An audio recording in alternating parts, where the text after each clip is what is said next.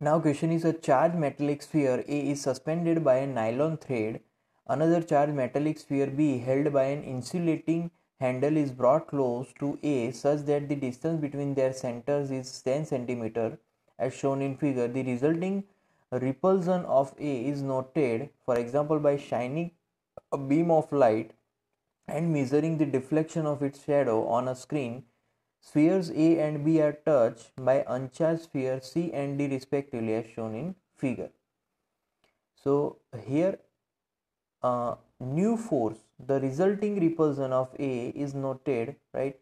So here that uh, they have not asked about anything here not questions here. So if we assume that force is asked here so see uh, earlier force so earlier force F is equal to k qa qb upon r square right? Now here with a c is there.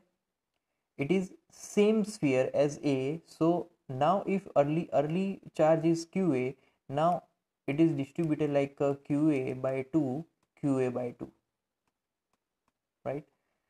So that is q by 2 q by 2 similar charges here also. Early charges if uh, it is qb then qb by 2 qb by 2 right? Here this is d. So d has qb by 2 and b has now qb by 2 both have same charges. So now my new force f dash is equal to k qa by 2 qb by 2 upon r square.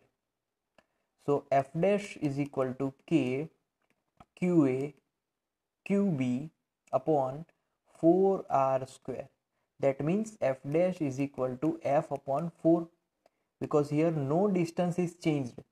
So my new force is fourth part of the initial force this force